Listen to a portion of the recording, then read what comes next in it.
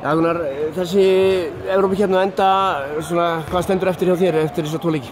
Það stendur eftir er að munun á milli íslensku deildarinnar og sænsku deildarinnar er eh, miklu minni heldur en, heldur en margir vilja meina. Mm. Sýnir að íslenska deildin heima er ekkert drasl.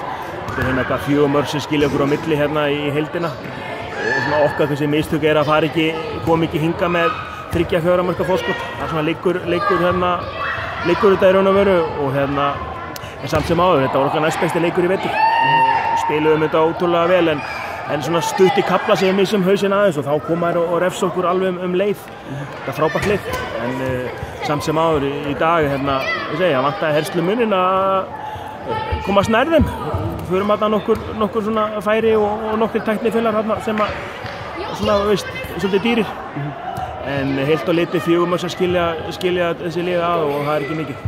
Munir er fórum alltaf upp í 7-8 mörg á tjónbili, þið komið alltaf tilbaka í tvígang náðið að minka þetta niður í 2 mörg.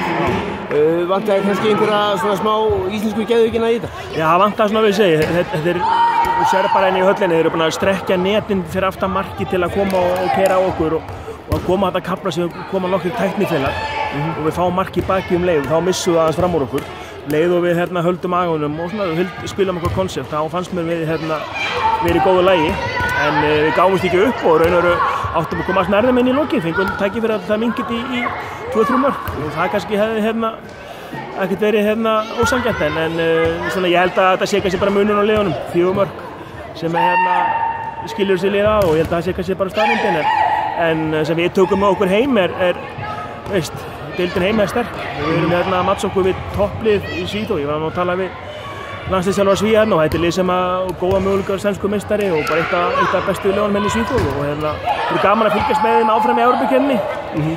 þannig að við síndum það er ekki mikið á milli og nú þurfum við að nú er verkefni mitt að, að fá þessa framistöðu sem sínum í Európa-kjörni að ná þessari framistöðu inn á völlinni, deildin heima, þá hérna söpnum við stígum. Mm -hmm. uh, Framistæðan hérna í dag kannski, manni fannst kannski vant að maður sá ekki þessa svona geðvikisvörd sem maður sá í fyrirleiknum og, og kannski, já, menna ekki alveg að nýta færi sér nógu vel. Nei, það er náttúrulega dýrt, við förum með eitthvað fjögur færi af, af línu, mm. leikurinn er fjóramarka muni sem þetta endar og förum með svona nokkuð döðafæri líka. En við sagðum rétt við byrjun 16. vörðuna og vorum bara alltaf passífir, við ætlum að reyna að vera miklu aggressífari og þeir eru náttúrulega refsu okkur mikið en áttum hérna 5-1 vörðina, svona leinumokk, svona sem þeir hafa sennilega aldrei spilað á móti.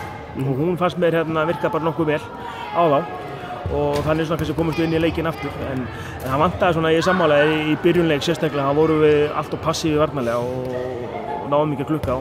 Og lendum þannig vandræða.